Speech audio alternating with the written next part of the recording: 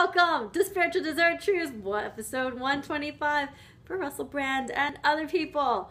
I love you. Feel the universe surrounding you, loving you.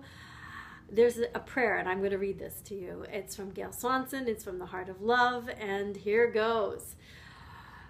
Feel every animal upon the planet connecting their hearts to one another and to you. Feel the power in this gift magnificent, this oneness acknowledged, this memory of love. Feel the energy of each and every species from the mountains and valleys, from the desert and sea, all merging together as each breath becomes one.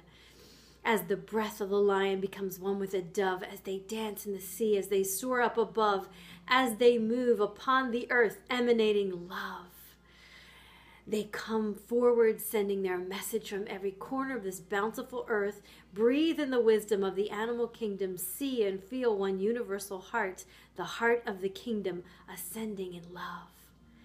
And the ascension shall be in the merging of hearts, and the kingdom shall bow and rise upon this truth until every breath and heart unites, and the kingdom of heaven and earth become one. That great note, pleasant dreams. Nighty night. Just take a few moments every day, even if it's a tiny amount of time.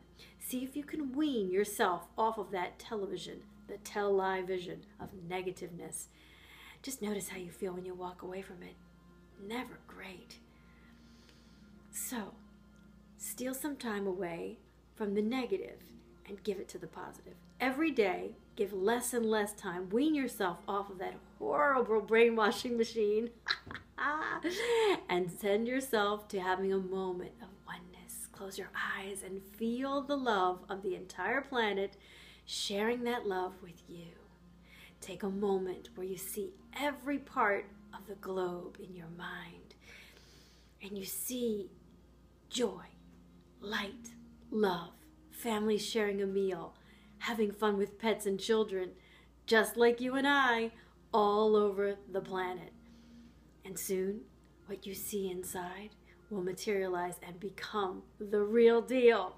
Immigrant song, immigrant hat.